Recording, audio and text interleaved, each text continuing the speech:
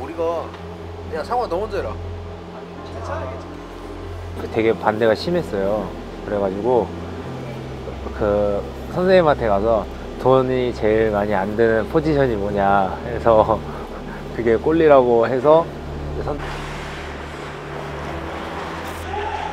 대명상무 right defense 오현우입니다. 원래 롤러 선수였는데 그 저희 담임 담임 선생님이 아이스하키부 부장이었거든요. 그래갖고 저 거의 1년 동안 해보라고 안녕하세요 병장 홍현복입니다 맞 돼, 돼요?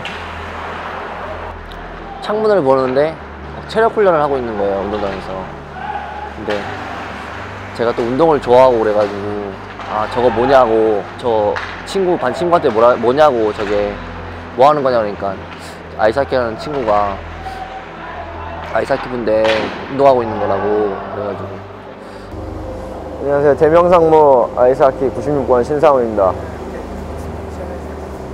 아, 뭐 시- 시킨 거는 아버지가 시켰고요.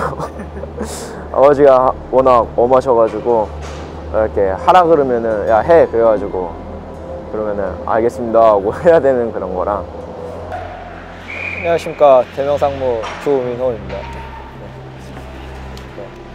어, 저 초등학교 4학년 때 네, 시작하게 됐습니다.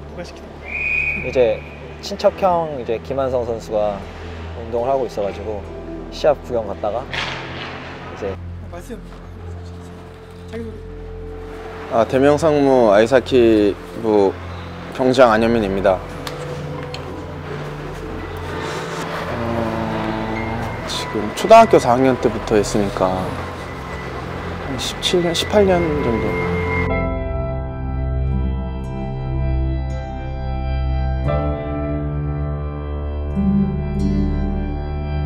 오늘 마지막 경기로 들어가기 전에 경장들끼리 마지막 경기니까 최선을 다하자고 후회 없는 게임 하자고 그런 마인드로 들어갔는데 또 막상 운이 좋고 되게 좀 씁쓸하다고 해야 되나? 또좀 그런 것 같아요.